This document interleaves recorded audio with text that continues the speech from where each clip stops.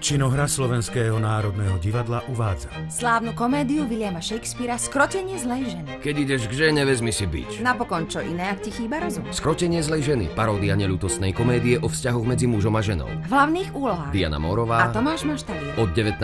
januára v historickej budove Slovenského národného divadla na Hviezdoslavovom námestí. Mediálny partner Tešíme sa na vás www.snd.sk